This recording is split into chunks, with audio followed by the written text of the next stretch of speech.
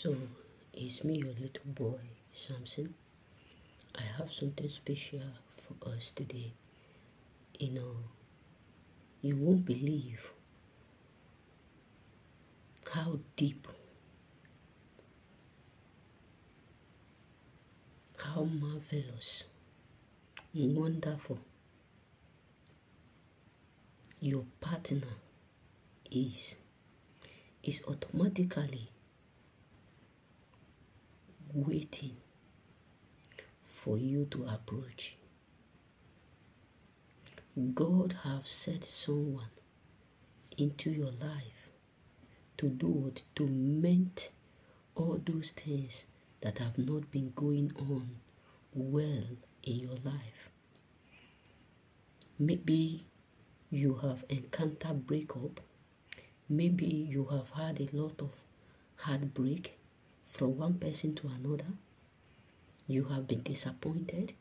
I'm here to give you a good news that God is about to do it to settle you with the right man and the right woman which you have been praying for for so long.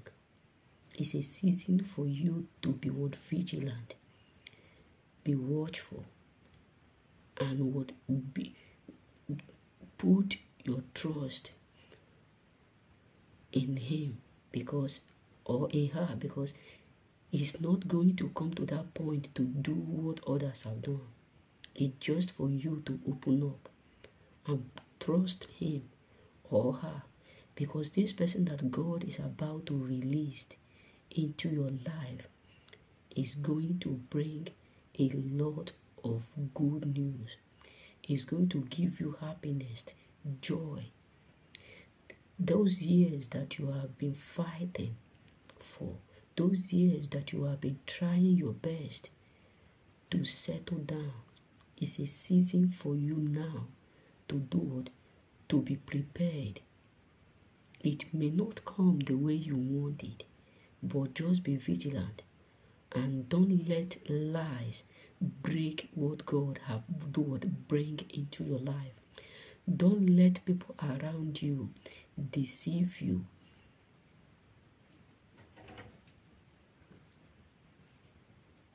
Just be patient and be vigilant within yourself because God is about to settle you. God is about to do you well. And this person loves you to the fullest that is going to be with you till the rest of your life. You may not have idea how deep the love is. You may not have idea how powerful the love is. Because the Bible says, He that findeth a good wife findeth a good thing. The same go to men. He that findeth a good man findeth a good thing and obtain mercy from the Lord.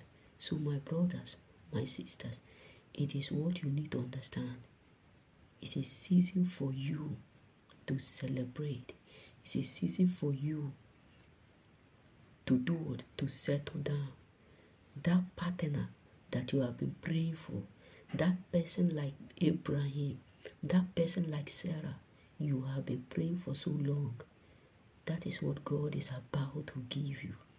Congratulations. Congratulations. But all I'm urging you, open up your heart. Open up your heart. And don't let lies destroy things within. Remain blessed.